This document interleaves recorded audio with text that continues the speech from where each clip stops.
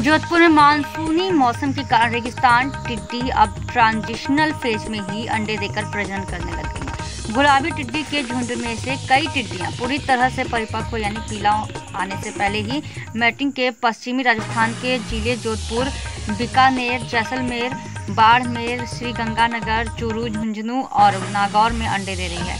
इससे आने वाले दिनों में बड़े दलों का खतरा बढ़ जाएगा। टिड्डी दल भारत में प्रवेश कर चुके हैं।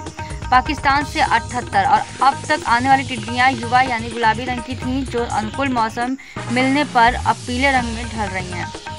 पाकिस्तान से नए टिड्डी दल में आ रही है गुलाबी। टिड्डी भारत से पहले से मौजूद पीली टिड्डी के साथ भी मैटिंग कर रही है और इससे अधिक प्रजनन की आशंका है। भूरी, गुलाबी और पीली टिड्डी में अंतर।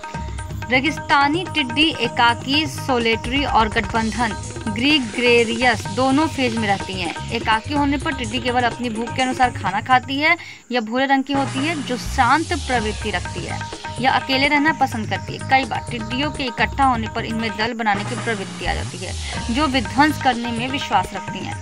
वर्तमान में ग्रीगेरियस टिड्डी है। अंडे देने के बाद टिड्डी के निम्फ यानी हापर निकलते हैं, जो वन से लेकर फाइव स्टार तक वृद्धि करते हैं।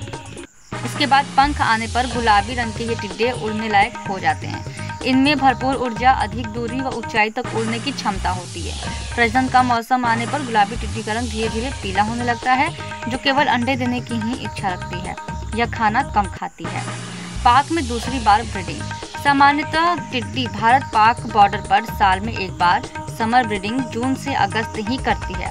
पाकिस्तान में परिस्थितियाँ अनुकूल मिलने और समुचित प्रबंधन नहीं करने पर टिड्डी ने सिंध की घाटी में स्प्रिंग ब्रीडिंग मार्च, अप्रैल में कर दी है, जिसके कारण दलों की संख्या अधिक है। नब्बे प्रतिशत टिड्डी राजस्थान में। अब तक पाक से आए निन्यानवे प्रतिशत टिड्डी दलों ने राजस्थान में प्रवेश किया है। कुल टिड्डी नियंत्रण में से 90 प्रतिशत कार्यक्रम राजस्थान में हुआ है।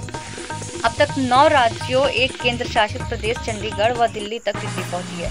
कुछ टिड्डी अब ट्रांजिशनल फ़ेज़ में ही अंडे देने लग गई है। जोधपुर में ऐसे स्पॉट चिन्हित किए गए राजस्थान के जनपद जोधपुर से कैलाश विष्णु।